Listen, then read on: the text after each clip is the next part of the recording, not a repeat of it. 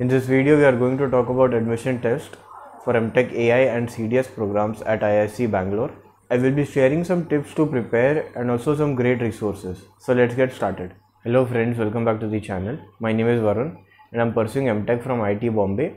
MTech Artificial Intelligence and MTech Computational and Data Science, also called as CDS, are interdisciplinary MTech programs offered by IISc Bangalore. For MTech AI, candidates with GATE specialization, computer science, electrical and electronics are eligible to apply. Students will be first shortlisted based on their GATE score followed by an admission test. For MTech CDS, there are several GATE specializations which are eligible to apply. But for this program, there are also additional interviews conducted. That is, they will first conduct test followed by interviews. For both of these programs, final admission is based on 70% GATE score and 30% performance in test or interview depending on whatever is conducted. In this video, we are going to talk about the test part for the admissions.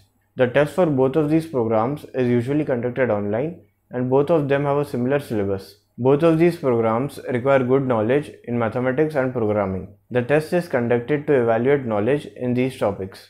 Now let's talk about the topics that you should cover for the test. The first one that you should prepare is linear algebra. This is a very important topic and you can definitely expect some questions from it. It is one of the prerequisites if you want to learn about machine learning. Some of the topics that you should prepare are system of linear equations, rank of a matrix, vector spaces, eigenvalues and eigenvectors, etc. The resource that I would suggest for linear algebra is MIT OpenCourseWare lectures by Gilbert Strang.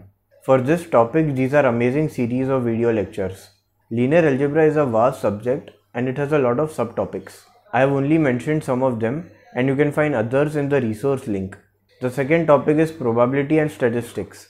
This is again a very important topic.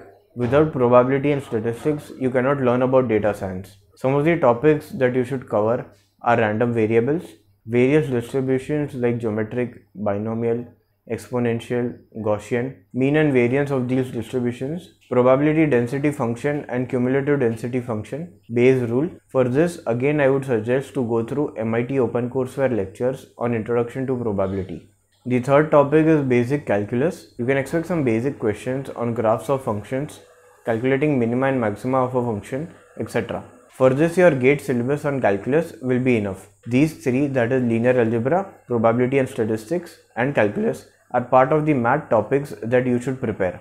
Now let's move to the programming topics that you should prepare. The first one is algorithms and data structure. GATE computer science students have already learned this subject, but this topic can be new for electrical and electronic students. They don't expect you to know data structures and algorithms in depth, so mostly they'll be asking very basic questions. The topics that you should prepare are time and space complexity, basic searching and sorting algorithms, some basic data structures like arrays, linked list and trees. For this you can refer to any of the great resources which are available on YouTube. The second topic is efficiency in one of the programming languages. From this you can expect two types of questions. First one is the MCQ type questions on programming and second one is the coding question.